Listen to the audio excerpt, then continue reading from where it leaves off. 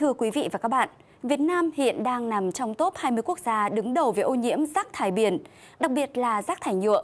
Theo thống kê, mỗi ngày, lượng rác thải phát sinh của 28 tỉnh ven biển nước ta là khoảng 38.500 tấn.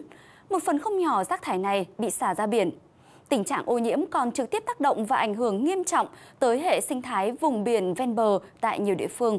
Đây là thực tế đáng báo động, đòi hỏi cần giải pháp và hành động từ các cơ quan chức năng cho đến mỗi người dân, cộng đồng, xã hội.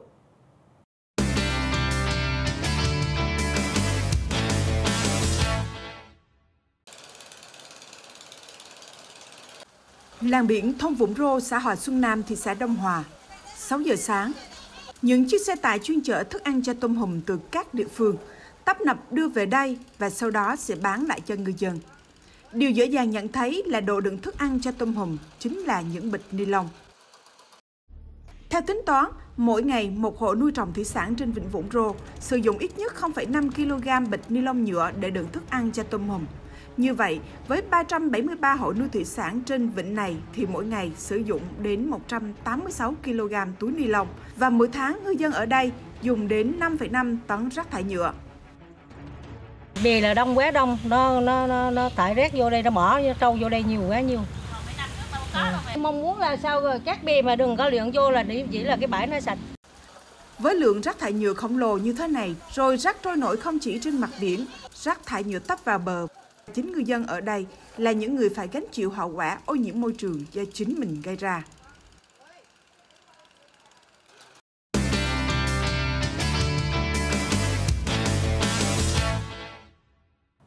Vâng thưa quý vị, môi trường biển bị ô nhiễm cộng với biến đổi khí hậu đang tác động nghiêm trọng tới hệ sinh thái biển. Dễ thấy nhất trong thời gian qua là tình trạng san hô bị tẩy trắng. Điều này đang và sẽ tác động gây suy giảm nguồn lợi thủy sản cũng như sự đa dạng của hệ sinh thái biển ở nước ta. Hai năm trước, Jürgen, khách du lịch người Áo đã có dịp đến với Côn Đảo và rất ấn tượng với hệ sinh thái san hô phong phú và đa dạng nơi đây. Trở lại hòn đảo trong mùa hè này và chứng kiến dạn san hô đã bị tẩy trắng hàng loạt, Jürgen thật sự rất buồn. So với hai năm trước, rất nhiều san hô đang chết dần và trở nên trắng xóa. Dạn san hô đã thay đổi rất nhiều và tôi khá lo lắng về điều đó. Các nhóm loài san hô bị tẩy trắng chủ yếu là san hô khối, san hô cành, nhóm san hô phiến và nhóm loài san hô nấm. Độ sâu của các loài san hô bị tẩy trắng từ 3 đến 15 mét, nhiệt độ nước biển gia tăng bất thường vượt ngưỡng 30 độ C, dẫn đến tảo cộng sinh trong san hô rời khỏi cơ thể san hô, làm cho khung xương san hô bị mất màu, san hô có nguy cơ bị chết cao. Coi như là tẩy trắng trên diện rộng toàn bộ cái rạn san hô của côn đảo. Toàn đảo thì mình mình điều tra là tất cả là 8 điểm. Phía đông đông của đảo chính thì tỷ lệ san hô tẩy trắng từ 80 tới 100%. Phía tây tây nam của đảo thì tình trạng nó tẩy trắng từ 6 70%. San hô có thể sống sót sau sự kiện tẩy trắng nếu vùng nước xung quanh mát hơn, tảo quay trở lại và môi trường sinh trưởng không có rác thải. Chính vì vậy, các biện pháp tạm thời đã được Vườn Quốc gia Côn Đảo thực hiện ngay như dọn rác dưới đáy biển, giảm các hoạt động du lịch. Hiện nay là san hô nó đang trong cái giai đoạn phục hồi. Vườn Quốc gia đang đề nghị là tạm ngưng dịch vụ là bơi lội ngắm san hô Lấy cuối tháng 9 nơi nào mà san hô bị tẩy trắng mà không thể phục hồi được đó, không thể nó nghĩa là chết luôn á không thể phục hồi thì mình đề xuất cái giải pháp là mình sẽ trồng mới Dạng san hô dưới đáy biển Côn Đảo là môi trường lý tưởng để rùa dưỡng thai. Hàng năm, vùng biển này đón nhiều rùa biển di cư đến để đẻ trứng. Mất đi dạng san hô đồng nghĩa với việc mất đi nguồn lợi thủy hải sản và môi trường sinh đẻ của rùa biển. Nghề cá ven biển cũng sẽ gặp khó khăn chưa từng thấy khi không còn khu vực sinh sản cho các loài sinh vật biển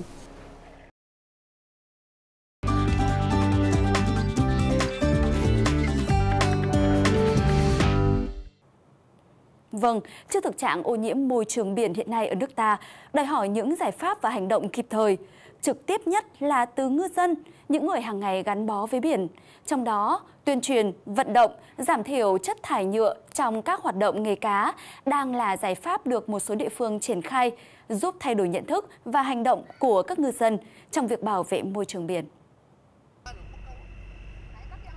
Lại một ngày chuẩn bị đi biển nữa của ông Hương, lão ngư dân đã có hơn 40 năm làm nghề đánh bắt hải sản. Nhưng khác với trước đây, ngoài việc cùng các thành viên khác kiểm tra máy móc, trang thiết bị, vật dụng cần thiết phục vụ cho đánh bắt xa bờ, thì kiểm kê và phân loại các đồ dùng liên quan đến nhựa và túi ni lông cũng được ông quan tâm. Hồi xưa chưa có cái ờ, thông tin thì bà con cũng ờ, đụng đâu vứt đó thôi.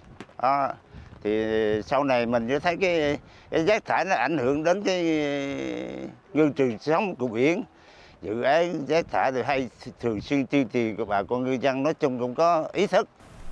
Là một trong ba ngư trường lớn của cả nước, vùng biển thuộc tỉnh Bình Thuận là nơi thường xuyên có hàng ngàn tàu cá đến khai thác, thu mua hải sản.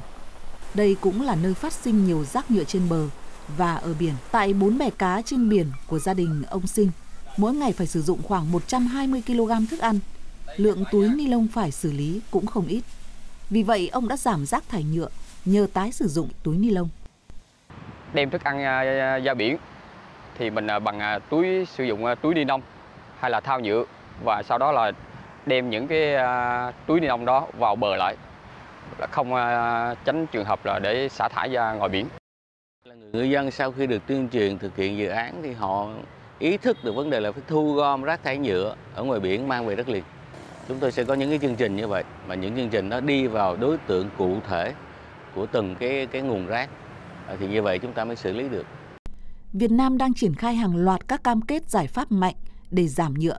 Đó là từ đầu năm 2026 sẽ không sản xuất và nhập khẩu túi ni lông khó phân hủy sinh học có kích thước nhỏ hơn 50 x 50 cm và từ đầu năm tới sẽ đồng loạt phân loại rác thải tại nguồn để thúc đẩy xử lý tái chế chất thải, trong đó có rác thải nhựa, giảm lượng rác thải ra môi trường. Tất cả là nhằm thực hiện mục tiêu của Việt Nam đến năm 2030 giảm 70% rác thải nhựa trên biển và đại dương.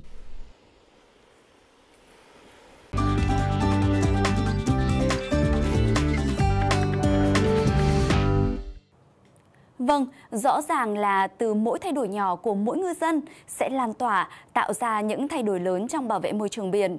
Ở một số địa phương, thời gian qua đã xây dựng thành công các mô hình cụ thể để lan tỏa hành động và nâng cao trách nhiệm trong cộng đồng.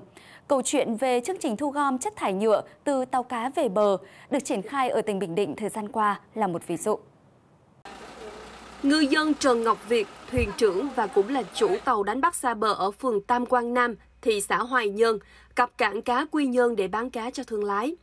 Một điều khá đặc biệt đó là chuyến biển này, chiếc túi được thiết kế treo trên mạn tàu dùng để đựng các túi nhựa, vỏ chai nước uống của các thuyền viên trên tàu được gom lại để mang về đất liền.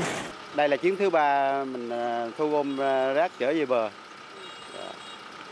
Rồi cũng về, về tới bờ rồi cũng được xuống nhận thu gom về.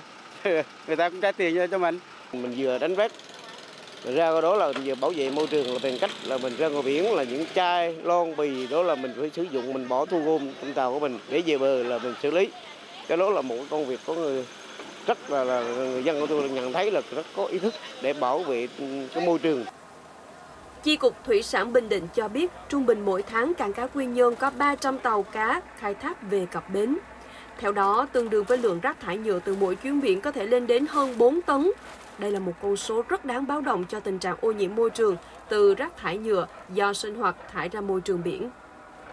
Lượng rác thải nhựa đại dương à, từ các tàu cá thuộc cái mô hình thí điểm à, đưa về với một cái số lượng và khối lượng rất là lớn. Cái vấn đề nâng cao cái nhận thức của người dân à, trên những tàu cá họ được nâng lên và họ có, có trách nhiệm hơn trong cái công tác bảo vệ môi trường đại dương chương trình thu gom chất thải nhựa từ tàu cá về bờ.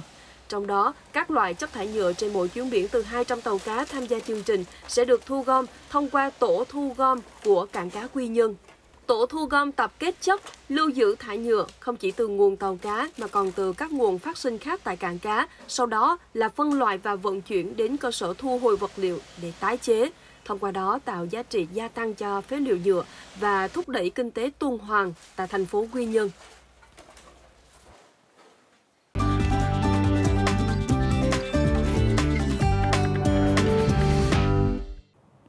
Cùng với những nỗ lực trong giảm thiểu rác thải gây ô nhiễm, việc bảo tồn hệ sinh thái biển cũng rất cần ý thức, trách nhiệm và sự chung tay của các ngành chức năng và người dân, cộng đồng. Câu chuyện về những nỗ lực cùng chung tay bảo vệ và phục hồi hệ sinh thái biển ở Cù Lao Tràm, tỉnh Quảng Nam là một minh chứng. là một trong bốn ngư dân được khu bảo tồn biển Cù Lao Tràm đào tạo bài bản về bảo tồn san hô. Anh Trần Minh Sĩ vẫn ngày ngày theo đuổi công việc bảo vệ biển đảo theo cách riêng của mình ở độ sâu từ 7 đến 18 mét dưới đáy biển. Bản thân tôi thì bên ờ, bảo tồn biển cũng cũng cho đi đi học bèn lẹn độ sâu 18 mét, à, cũng đi lẹn đi làm san hô trồng san hô lợ với lại mấy anh. Có những ngư dân là họ hiểu cả vùng cạn này chỗ nào có san hô cành chỗ nào có san hô phiến thì họ sẽ chỉ cho anh em ờ, khu bảo tồn biển kiểm tra xem thử cái chỗ đó cho giống được hay không họ biết rất nhiều về cái san hô ở cụ tràm cả độ sâu cả yếu tố tác động san hô nào sống như thế nào. Thì đó là những cái tri thức bản địa rất là quý. Mình cũng uh, tình nguyện mình làm mình làm. Làm thì để cho san hô là để phục rồi rồi san hô để cho lục á để sinh sống. À, mặc dù quy trình là được các nhà khoa học đề xuất.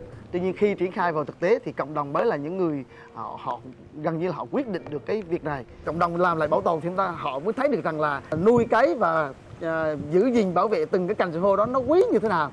Và nó tốn công sức và nó tốn thời gian rất là lâu. Không chỉ hiểu rõ về san hô, giờ đây những người ngư dân này còn thành thục kỹ năng lấy giống và cấy ghép san hô cứng. Không chỉ vậy, họ còn thay nhau có trách nhiệm dọn rác dưới đáy biển, bắt những loài sao biển gai ăn san hô để trả lại môi trường sống cho các dạng san hô. Tháng đến hai lần là mình sẽ đi dọn vệ sinh ở dưới đáy biển mà rác thải mà nó nó nó ùa ra ngoài này á, bắt đầu nó vào trong đó, bắt đầu là đánh vỡ những cái chai đó, nó xuống dưới đó mình phải đi bắt để dọn vệ sinh liên tục. Bởi cho nên là hôm nay á, dưới đáy biển á, nói chung là nó sạch sẽ lắm, chỉ có san hô và đá cá thôi. Mình bảo vệ là bảo vệ là lâu dài, cái thế hệ con mai sau con cháu nó khai thác nó kiếm nè Nhờ những nỗ lực từ cộng đồng và các nhà nghiên cứu, từ năm 2015 đến nay, khu bảo tồn biển Cù Lao Chàm đã xây dựng được trên 1,5 hecta dạng san hô. Thưa quý vị, mức độ ô nhiễm môi trường biển sẽ tác động trực tiếp tới hệ sinh thái biển, trong đó có các nguồn lợi thủy sản. Do vậy, bảo vệ môi trường biển không chỉ là trách nhiệm về môi trường mà còn gắn liền với sinh kế của chính mỗi người dân vùng biển. Và những hình ảnh đẹp về các loài sinh vật biển là thông điệp và cũng là lời chào kết của chương trình Vì môi trường bền vững hôm nay. Xin kính chào và hẹn gặp lại quý khán giả trong các chương trình tiếp theo.